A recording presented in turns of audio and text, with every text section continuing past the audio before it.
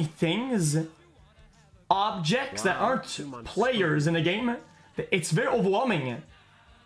Oh, I'm going through this door, but wait, there's the thing. Why There's the thing on the floor, the thing on the wall, the other thing on the floor, the turret above, the thing on the right side, the wall there, the the bullet there, the this that, the bird's coming to my face, the, the grenade is going, the bot's rolling through. Holy fuck!